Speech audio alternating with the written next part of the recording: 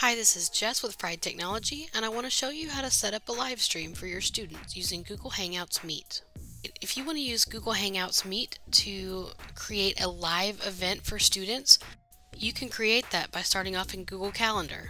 Now I want to add two elements to my Hangouts Meet. The first element is I want to have a group of two or three people in this meet who are going to talk back and forth to one another.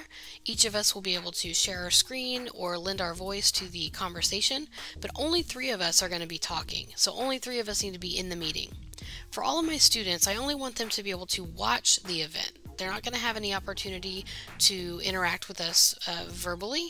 They can ask questions through Google Classroom, they can post their thoughts on a Padlet or another avenue, but during the live stream, I just want them to watch. So here's what I'm going to do.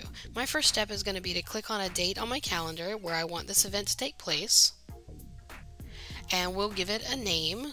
And if I'm going to have people tune in to talk and interact on this meeting, I'm going to add them as guests to this calendar event so they have the link to the proper Hangout. So now I want to add room location or conferencing. We're going to click here and we're going to add conferencing. So there's my Hangout Meet.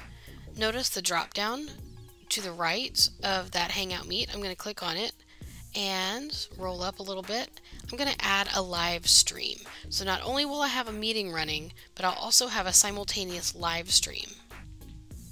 Notice when I clicked on add live stream, I got a new message and it says to invite people to watch the live stream, you have to save this event and create a view only copy. So we're going to do that in just a second, but I just want to point out that first we created the calendar event, then we added our guests who are going to be participating in the conversation, and now we've added the conferencing that's a Hangout Meet. When we did that, we dropped it down so that we could activate that live stream.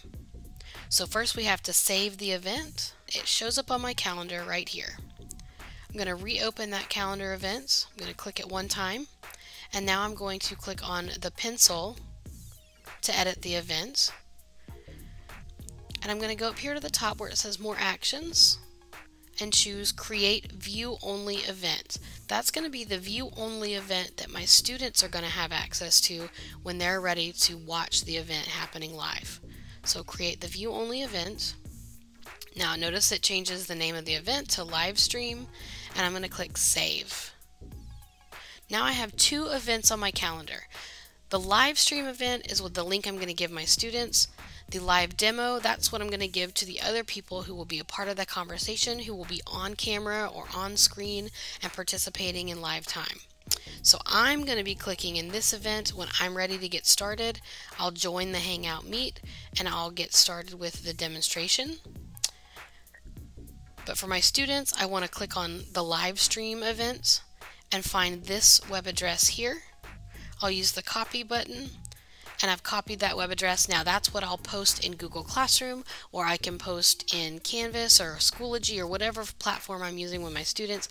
That's the link that I'm going to give my kids so that they can click on it, they can access it during the, the live demonstration, and they're able to watch what's going on. For more tips like these, be sure to follow us on social media at friEdTechnology or at friedtechnology.com.